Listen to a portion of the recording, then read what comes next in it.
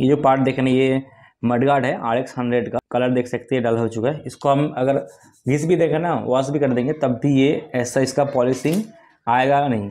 देख सकते हैं कितना ज़्यादा इसमें रस्टिंग आ चुका है। रस्टिंग भी आ चुका है, उसके बाद इसका जो कलर है क्रोम पार्ट वो डल हो चुका है।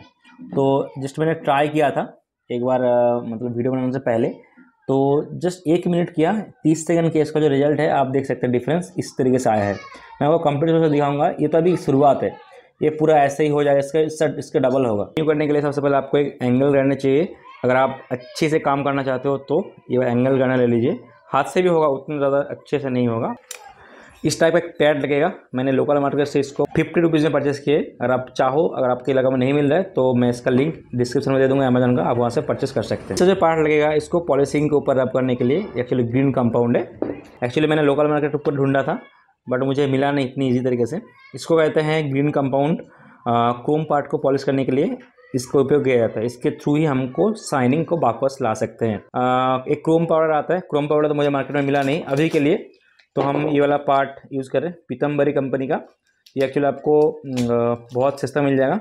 डेढ़ सौ ग्राम का पाउच प्राइस है फोर्टी फाइव रुपीज़ और इससे पीतल का पार्ट्स पॉलिश होता है बट इसमें अभी लिखा है स्टील कॉपर ना also for steel copper brush इस सब में ये उपयोग हो सकता है। पहले हमको ये वाला बफिंग पैड है, इसको लेना है और इसके अंदर इस तरीके से फिक्सिंग करना है। और लगाने का टाइप ये जो पार्ट है फ्लैट वाला पार्ट नीचे रहेगा। तब जाके फिटिंग अदरवाइज़ बाद में लूज हो सकता है। टिप नंबर वन अगर इसमें ज़्यादा ही रस्टिंग है तो आपको हल्का सा सैंड पेपर लेना है वो भी छः सौ नंबर का इसको हल्का सा सैंड करना है। ताकि ऊपर में रस्टिंग वगैरह हो, वो चला जाए, उसको आप पानी से कर दीजिए। इसको पहले पोछ लीजिए। अच्छे से पोछ लीजिए। अब आपने पोछ लिया। पोछने के बाद यहाँ पे हमको पानी का अप्लाई करना पड़ेगा। इसको पोछना पड़ेगा। क्या होगा उसमें? जो भी ऊपर में डस्ट पार्टिकल है, वो निकल जाएँगे। ग्रीन कंपाउंड है। इसको हमने थोड़ा सा हीटिंग कर लिया ताकि ये गल जाए। इसको ऊपर जहाँ पूरा अप्लाई कर देना है। अच्छे से। उसके बाद हमारा ये वाला है इसके ऊपर भी अप्लाई करना अच्छे से। मेन इसी के ऊपर ज़्यादा करना है कि इसी के ऊपर पॉलिशिंग होगा। उसके बाद हल्का हल्का पानी का उपयोग करना है।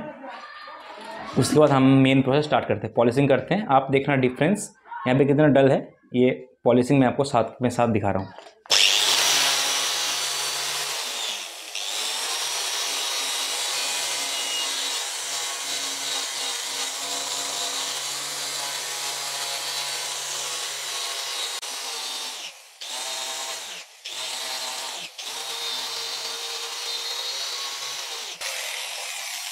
तो लाइव मैं आपको डिफरेंस दिखा रहा हूँ, देख सकते कितना बढ़िया तरीके से पॉलिशिंग हो रहा है और इसमें हीटिंग ज़्यादा होता है तो आप एक काम करें मतलब तीस सेकंड करने के बाद इसमें आप पानी का उपयोग कर, उपयोग करें।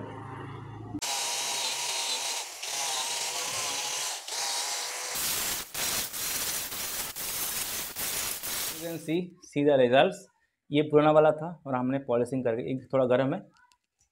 देख सकते इसके ऊपर पानी भी नहीं ठहर रहा है। इतना ही साइनिंग हो चुका है। इसको थोड़ा ठंडा होने देते हैं गर्म है, ये वाला पार्ट अभी इसके ऊपर जब ये क्लीन हो जाएगा ना, सूख जाएगा, ठंडी हो जाएगा, उसके ऊपर हमको क्या करना है, इसके ऊपर हम जो पीतम्बरी पाउडर है, उसके ऊपर करके आपको हैंड से ही थोड़ा थोड़ा करना है। तो इसका पॉलिशिंग जो है ना, वो मेंटेन रहेगा और भी साइन आ जाएगा।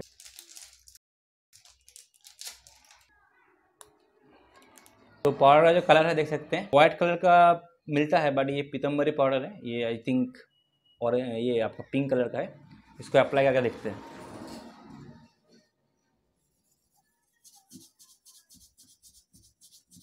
यानी कितना बढ़िया काम कर रहा है।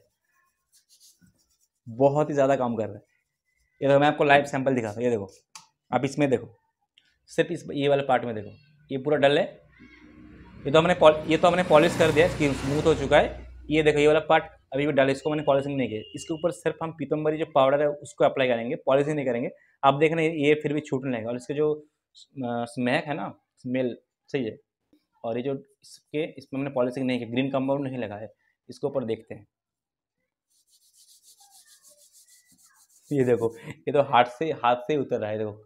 जो ऊपर का डस्ट है, वो हमारे हाथ में आ गया।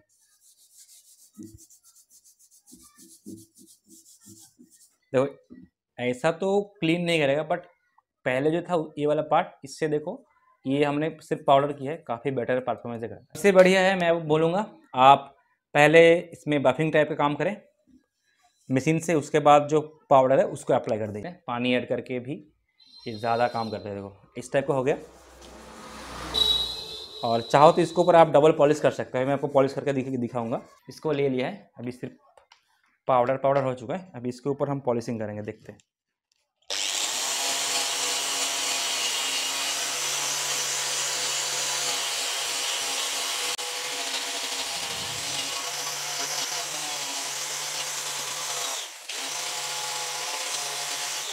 तो सबसे पहले इसको मैं फाइनल पॉलिश कर लेता हूँ इस पिदम्बरे पाउडर से। उसके बाद मैं आपको फाइनल लुक दिखा so see the difference this is the final result देख सकते हैं पूरा ही चमक चुका है। काफ़ी स्मूथ भी हो चुका है। और ये हमारा ओल्ड वन ये और ये हमारा पॉलिशिंग वन उसके बाद हमने इस टैंक में थोड़ा सा पॉलिशिंग किया था। ये तो पूरा ब्रांड न्यू हो चुका है। जिसमें पीतम्बरी पाउडर का पॉलिशिंग किया था हल्का सा। देखो, पूरा ब्रांड नहीं हो चुका है। और इसमें देखो, इसमें हमने इसमें पॉलिशिंग किया था थोड़ा सा। और ये विदाउट पॉलिशिंग वाला है और ये पॉलिशिंग वाला है, देख सकते हैं। ये वाला पार्ट सिर्फ़। सीधा डिफरेंस और लेग गट में आए, देखो, यहाँ पे मैंने पॉलिशिंग किया था। सीधा डिफरेंस और ये ओल्ड वाला है। देखो, ये डल है। ये पूरा पॉलिश हो गया है। Right this is the simple process मैंने आपको दिखा दिया है कि बाइक का क्रोम पार्ट को कैसे मेंटेन करते हैं। बिल्कुल सस्ता में इससे सस्ता नहीं हो सकता। अगर आप अच्छे से काम करना चाहते हैं तो तो अगर आप कुछ भी नहीं है, तब भी वो पिटम्बर जो पाउडर आता है, वो स्टील के दुकान में मिल जाता है। उसको भी आप अच्छे से मतलब घिसेंगे ना क्लीन करके, तब भी ग्लेजिंग आता है। तो आपकी वाला वीडियो छोटा सा वीडियो कैसे लगा इसलिए आप अपने घर में, अगर आपके पास ओल्ड बाइक है क्रोम वाला पार्ट ज़्यादा है तो आप इसमें ट्राई कर सकते हैं। सो वैसे मिलते हैं अगले पार्ट में बाय बाय जय हिंद, वंदे मातरम, भारत माता की। जय।